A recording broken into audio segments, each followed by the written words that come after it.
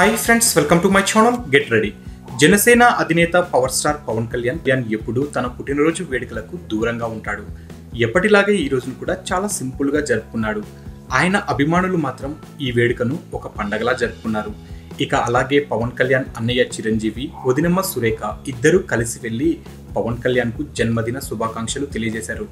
ఇక చిరంజీవి వదినమ్మ రావడంతో పవన్ కళ్యాణ్ కూడా సర్ప్రైజ్కు గురయ్యాడు. పవన్ కళ్యాణ్ జన్మదినం సందర్భంగా పవన్ గురించి కొన్ని తెలిసిన విషయాలు కొన్ని తెలియని విషయాలు తెలుసుకుందాం. పవన్ కళ్యాణ్ పూర్తి పేరు కొణిదెల కళ్యాణ్ బాబు. తన కరాటే ప్రదర్శన కోసం పేరులో పవన్ అని జోడించుకున్నాడు.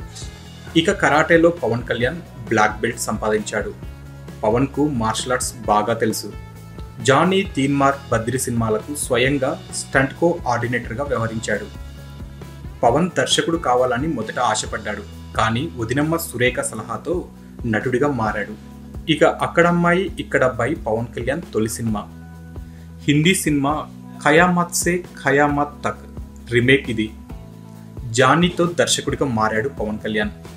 రెండు వందల యాభై థియేటర్లో జానీ రిలీజ్ అయింది ఇది అప్పట్లో ఒక రికార్డు.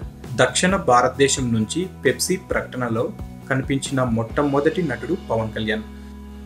రెండు వేల పదమూడు ఫోర్స్ టాప్ హండ్రెడ్ సెలబ్రిటీస్ జాబితాలో పవన్ కళ్యాణ్ ఇరవై ఆరవ స్థానంలో నిలిచాడు.